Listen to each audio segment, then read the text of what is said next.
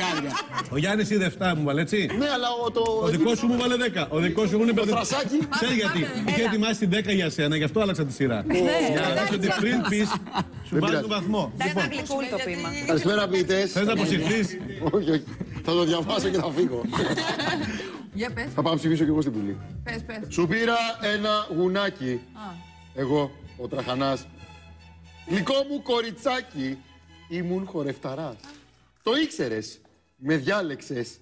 Ήθελες λιγάκι να σκύψω να φιλήσω το ωραίο σου το στέρνο. Το γουνάκι, το γουνάκι. όχι, δεν Μα το κολλάει. έχω βάλει το Είναι με γουνάκι. πίπα Το αυτό. βάλει, Εντάξει, να το έλα, κάνω έτσι δηλαδή, να γίνει έλα. πιο αστείο. Συγγνώμη.